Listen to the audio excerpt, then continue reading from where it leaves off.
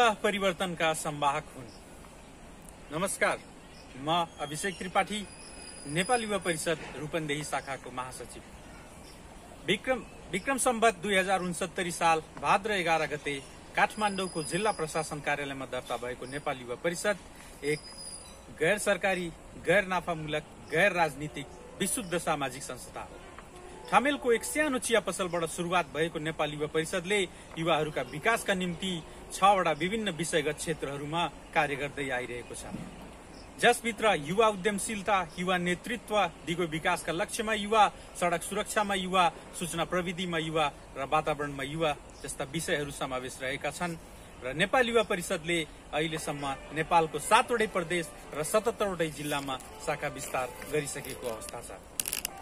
र यदि यहाँहरू पनि नेपाल युवा परिषदसँग जोड्न चाहनुहुन्छ भने यहाँहरू हामीसँग हाम्रो website www.nationalyouthcouncil.org dot national youth council dot ORG अथवा फेसबुक पेज नेपाल युवा परिषदमा जोडिन सक्नुहुनेछ धन्यवाद